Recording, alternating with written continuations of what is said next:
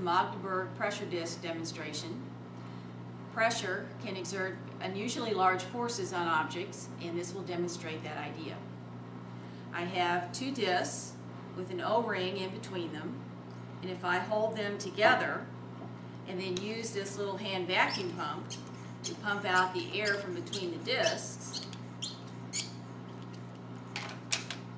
the discs are very difficult to pull apart. I can't pull them apart. Some people can, but I can't.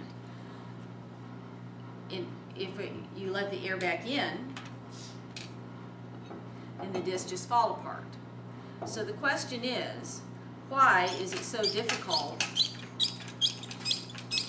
to pull the discs apart when there's no air between the discs? We want to do that calculation.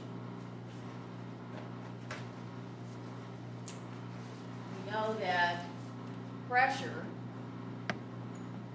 is force divided by area. If you multiply both sides of that equation by area, you get force is pressure times area. That's what we want to use. So we know that the pressure is atmospheric pressure, which is 14.7 pounds per square inch. The area is the area of that circle of the disk, pi r squared. We can estimate the radius being 2 inches, and that will give us an area of approximately 12.6 square inches.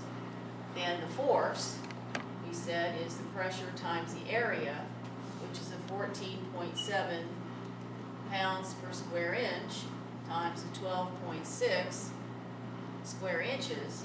That gives you approximately 185 pounds. What that means is it will take a force of 185 pounds on each handle to pull these discs apart.